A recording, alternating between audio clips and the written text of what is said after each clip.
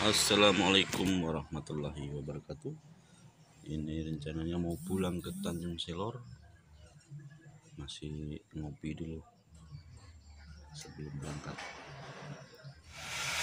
Oke teman semuanya jangan lupa terus dukung channel saya Sido Muncul 85 jangan lupa di like, komen, dan subscribe nya ya.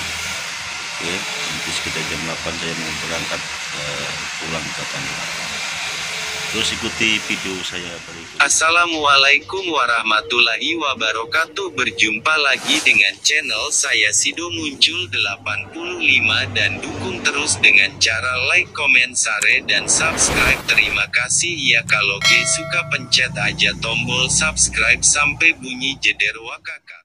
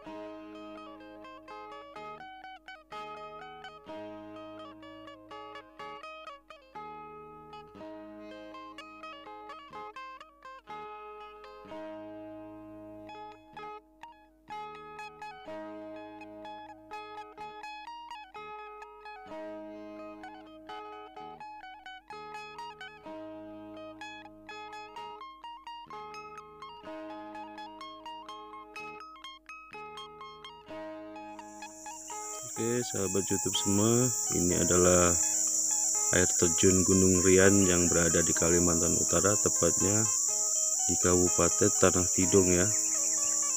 Nah, saya juga belum pernah ke sana.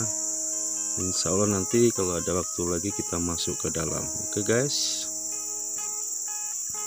Tuh tingginya mungkin ada berapa ribu meter itu ya dari bawah ya. Guys.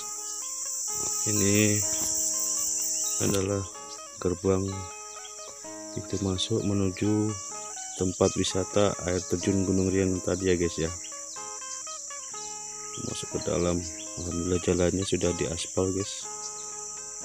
Untuk teman-teman YouTube semua di Kalimantan maupun di luar Kalimantan kalau mau berkunjung ke wisata di Kalimantan Utara silahkan datang aja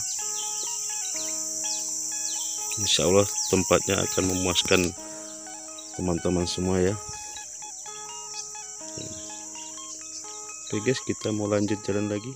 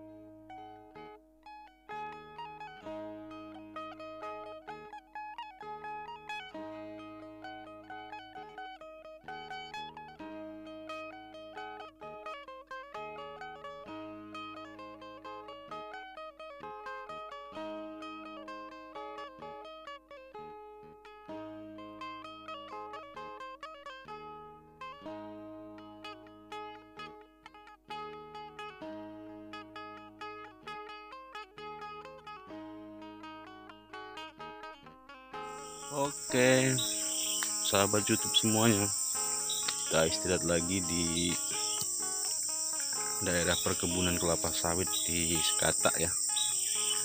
Kita istirahat dulu. Capek di perkebunan sawit. PT apa tadi ya? PT Sanjau apa tadi? Ini berada di daerah Sekata dan ini di bawah pohon mangga nih. Eh, nampaknya ini tempat persinggahan hmm, para sopir-sopir ya atau motor yang singgah di sini untuk berteduh menghilangkan rasa capek sementara ya. Malam cukup dingin. Kita istirahat dulu di daerah Sekatabuji oke teman YouTube semuanya saksikan perjalanan saya berikutnya ya. E, kemungkinan sekitar satu jam setengah kita akan sampai rumah.